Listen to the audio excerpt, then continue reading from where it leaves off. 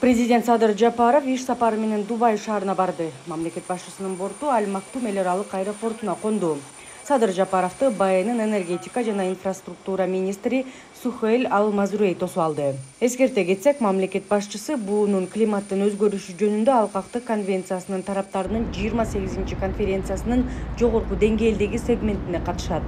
Ошондой эле буунун климаттын өзгөрүшү жөнүндө алкактык конвенциясынын тараптарынын жыйырма сегизинчи конференциясынын пленардык отурумунда сөз сүйлөйт